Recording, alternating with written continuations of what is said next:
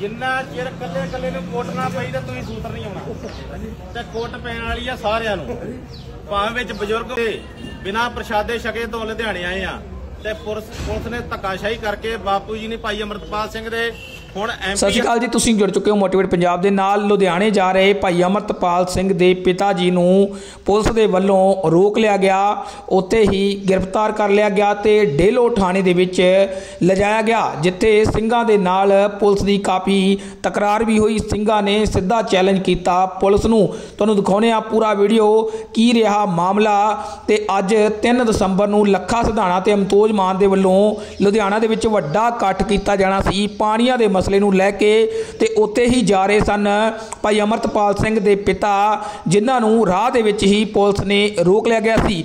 ਹੋਰ ਵੀ ਥਾਵਾਂ ਤੇ ਬੜੇ ਲੋਕਾਂ ਨੂੰ ਰੋਕਿਆ ਗਿਆ ਪੁਲਿਸ ਦੇ ਵੱਲੋਂ, ਜਿਹੜੇ ਕਿ ਲੁਧਿਆਣਾ ਧਰਨੇ ਦੇ ਵਿੱਚ ਜਾ ਰਹੇ ਸਨ, ਪਾਣੀਆਂ ਦੇ ਮਸਲੇ ਨੂੰ ਲੈ ਕੇ ਇਕੱਠ ਕਰਨ ਦੇ ਲਈ ਜਾ ਰਹੇ ਸਨ। ਦੇਖੋ ਤੁਸੀਂ ਹੁਣ ਇਹ ਵੀਡੀਓ ਤੇ ਵੀਡੀਓ ਨੂੰ ਜ਼ਿਆਦਾ ਜ਼ਿਆਦਾ ਸ਼ੇਅਰ ਕਰ ਦੇਣਾ ਹੈ। ਚੈਨਲ ਨੂੰ ਸਬਸਕ੍ਰਾਈਬ ਕਰਕੇ ਸਾਡੇ ਨਾਲ ਜਰੂਰ ਜੁੜ ਜਾਓ। ਪੰਜਾਬ ਤੇ ਦੇਸ਼ ਦੁਨੀਆ ਦੀ ਹਰ ਇੱਕ ਵੈਲ ਖਬਰ ਨੂੰ ਦੇਖਣ ਦੇ ਲਈ।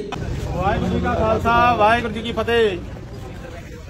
ਜਿੰਨਾ ਚਿਰ ਕੱਲੇ ਕੱਲੇ ਨੂੰ ਕੋਟ ਨਾ ਪਈ ਤਾਂ ਤੁਸੀਂ ਸੂਤਰ ਨਹੀਂ ਆਉਣਾ। ਤੇ ਕੋਟ ਪੈਣ ਵਾਲੀ ਆ ਸਾਰਿਆਂ ਨੂੰ। ਭਾਵੇਂ ਵਿੱਚ ਬਜ਼ੁਰਗ ਵਾ, ਭਾਵੇਂ ਕੋਈ ਵੀ ਆ। ਜਦੋਂ ਕੱਲੇ ਕੱਲੇ ਤੁਹਾਨੂੰ ਕੋਟ ਪੈ ਜੀ ਨਾ, ਤੇ ਫਿਰ ਤੁਸੀਂ ਸਿੱਧੇ ਰਸਤੇ ਪੈਣਾ।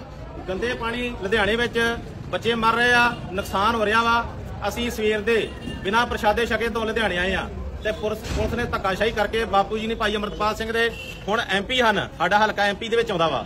ਆ ਸਾਨੂੰ 20 ਲੱਖ ਬੰਦਾ ਡੀਕਣ ਡਿਆ ਵਾ। ਸਾਡੇ ਸਿੰਘ ਦਿਬਰੂਗੜ੍ਹ ਸਾਡੇ ਨਾਲ ਧੱਕਾਸ਼ਾਹੀ ਪੰਜਾਬ ਵਿੱਚ ਹੋ ਰਿਹਾ ਨੁਕਸਾਨ ਡਰੱਗਸ ਵਾਲੇ ਨੂੰ ਕੋਈ ਨਹੀਂ ਫੰਡਿਆ। ਤੇ ਸਾਡਾ ਭਗਵੰਤ ਮਾਨ ਸ਼ਰਾਬੀ ਲਾਣ ਨਹੀਂ ਲਾਣੀ ਤੇ ਉਹ ਇਨਸਾਫ ਆਪਾਂ ਨੂੰ ਕਦੀ ਨਹੀਂ ਦੇ ਸਕਦਾ। ਜਿੰਨੇ ਚਿਰ ਅਮਰਧਾਰੀਆਂ ਦੀ ਸਰਕਾਰ ਨਹੀਂ ਆਉਂਦੀ ਸ਼ਾਸਤਰ ਦੇ ਅਧੀਨ ਨਹੀਂ ਹੁੰਨੇ ਉਹਨਾਂ ਚਿਰ ਨਾ ਰਾਜ ਮਿਲਣਾ ਕੁਝ ਪੰਜਾਬ ਸਰਕਾਰ! ਮੁਰਦਾਬਾਦ! ਪੰਜਾਬ ਸਰਕਾਰ! ਮੁਰਦਾਬਾਦ! ਪੰਜਾਬ ਸਰਕਾਰ! ਮੁਰਦਾਬਾਦ! ਪੰਜਾਬ ਸਰਕਾਰ!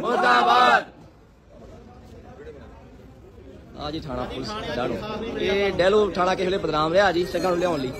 ਅੱਜ ਪਹਿਲੀਆਂ ਦਰਸ਼ਿਤ ਹੋਏ ਆ, ਭਾਈ ਅੰਮ੍ਰਿਤਪਾਲ ਜੀ, ਪਿਤਾ ਜੀ ਦੇ ਨਾਲ ਅਸੀਂ ਆਏ ਆ, ਨਗਰ ਕੀਤਾ ਹੈ। ਇਹ ਡੈਲੋ ਥਾਣਾ।